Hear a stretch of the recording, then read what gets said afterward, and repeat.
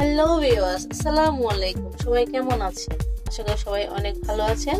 আমি আজ আপনাদের সামনে নিয়ে আসলাম খুব স্পেশাল একটা রেসিপি মাংসের দম, যা মাটির হাঁড়িতে রান্না করতে হয়। আশা করি আপনাদের ভিডিওটি ভালো লাগবে। তাই ভিডিওটি স্কিপ না করে সম্পূর্ণ ভিডিওতে আমার সাথেই থাকবেন। তো চলুন কথা না বাড়িয়ে শুরু করা যাক। আজ আপনাদের যে রেসিপিটা দেখব তা হলো মাংসের দম। আর মাংসের দম রান্না করার জন্য আমার যেটা লাগবে মাটির হাড়ি। মাস্ট বি এটা কিন্তু লাগবেই তো আমি এটা এনেছি রান্না করার জন্য।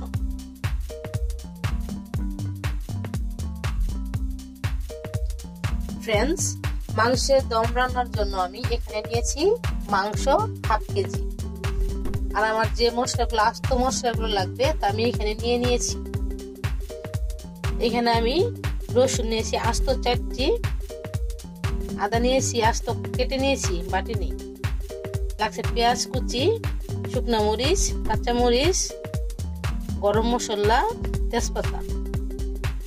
এগুলো এখন আমি সবগুলো মাংসে মাখিয়ে নেব।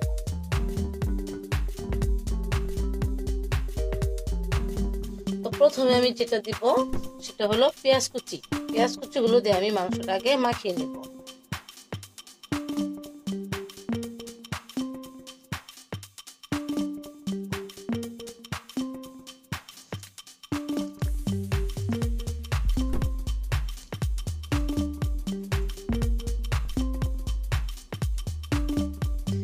এখন এক এক করে আমার সব জিনিসই দিয়ে দিতে হবে। রসুন লাস্ট দিয়ে দিলাম। আমার এখানে আদা আমি এইভাবে কেটে নিয়েছি। ডালচিনি, এলাচ, আর আমি এখানে দিয়ে দিব শুকনো মরিচ, চার পাঁচটি। আমার লাগছে কাঁচামরিচ কুচি। এখানে আমি তিনটি কাঁচামরিচ নিয়েছি। আমি এখানে দিয়ে দিব তেজপাতা ঝালটা আপনারা আপনাদের পছন্দ অনুযায়ী নেবেন ওটা এক একজন এক এক রকম ঝাল খান সেই জন্য আমার এখানে লাগছে শুকনো মরিচ শুকনো মরিচের গুঁড়ো এক টেবিল চামচ। লাগছে হলুদ হলুদের গুঁড়ো এখানে আমি নিয়েছি এক টেবিল চামচ। শুকনো মরিচের গুঁড়ো আমি কম নিলাম এই জন্যই কারণ এখানে আমি শুকনো মরিচ এবং কাঁচা মরিচ দিয়ে দিয়েছি। আমার লাগছে সজের গুঁড়ো, এক টেবিল চামচ। আমি এখানে নিব, নেব। একটু আদার পেস্ট কারণ আদা আর একটু রসুনের পেস্ট সামান্য একটু করে। আর আমার লাগছে এখানে লবণ। লবণটা আমি এক টেবিল চামচের মতো নিয়ে নিয়েছি, এখন এগুলো আমি মাখিয়ে নেব। তার আগে আমি এখানে দিয়ে দিব সরিষার তেল। আর এই রান্নাটা কিন্তু সরিষার তেল দিয়ে হবে। সব উপকরণ আমি দিয়ে দিয়েছি, এখন এটাকে আমি মাখিয়ে নেব। সবগুলো মিলিয়ে একদম।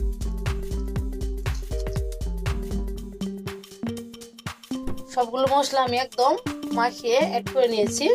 এটা মেরিনেট করে রাখতে হবে না। আমি এখনই এটা রান্না বসিয়ে দেব। আস্ত জিরাটা আমি এইভাবে ভেঙে রেখেছিলাম। আমার খেয়াল ছিল না এটা দেওয়ার জন্য। এখন এটা আমি দিয়ে আরেকটু মাখিয়ে নেব।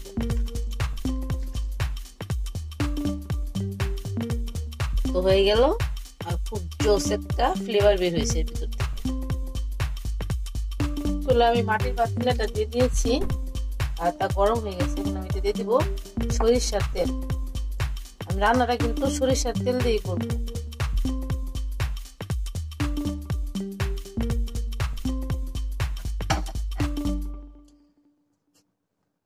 এখন আমি দিয়ে দিব। যে আমি যে রসুনগুলো রেখেছিলাম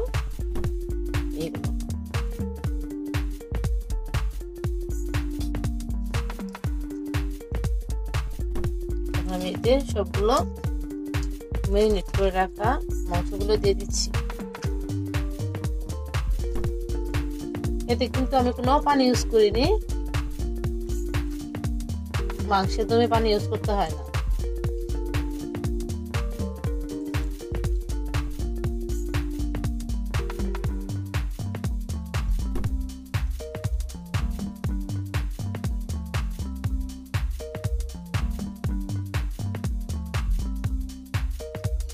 আমি এভাবে এইভাবে দিয়ে দিয়েছি। আর যে বলে আমি মাংসগুলো রেখেছিলাম, তা ধুয়ে সামান্য একটু পানি এতে দিয়ে দিয়েছি। এতে কিন্তু বেশি পানি দেওয়া যাবে এখন আমার এতে এইভাবে আমি মাথাটা গুলে নিয়েছি। আর এর সাইড দিয়ে আমার বসিয়ে দিতে হবে সম্পূর্ণটাই। তো সব দিকে এইভাবে দিয়ে দিয়েছি, এটা আমি ঢেকে দেব।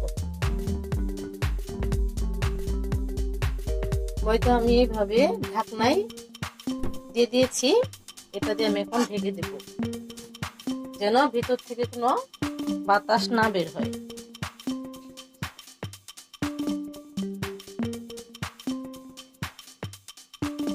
তো আমি এভাবে একদম ঢেকে দিয়েছি।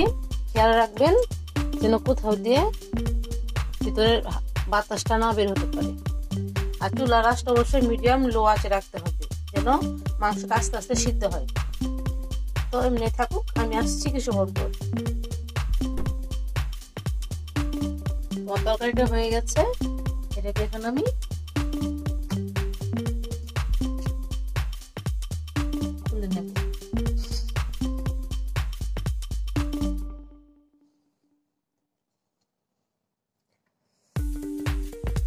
আহা কি সুন্দর ফ্লেভার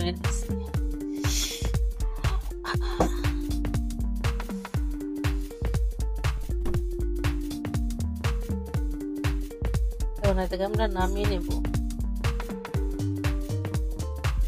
তো হয়ে গেছে আমার মাটির হাঁড়িতে মাংসের দম এটাকে এখন আমি বাড়িতে নিয়ে নেব তো হয়ে গেল আমার মাংসের দম আশা করি আপনাদের ভিডিওটি ভালো লেগেছে। যদি আমার ভিডিওটি ভালো লাগে, অবশ্যই ভিডিওটি দেখতে দেখতে একটি লাইক করে দেবেন। আর ফ্যামিলি এবং ফ্রেন্ডদের সাথে আমার ভিডিওটি শেয়ার করবেন। আর আমার চ্যানেলটি সাবস্ক্রাইব করে দেবেন এবং পাশে থাকার বেল আইকনটি বাজিয়ে দেবেন। সবাই ভালো থাকবেন। দেখা হবে নেক্সট টাইম নেক্সট কোনো ভিডিও নিয়ে। আল্লাহ হাফিজ।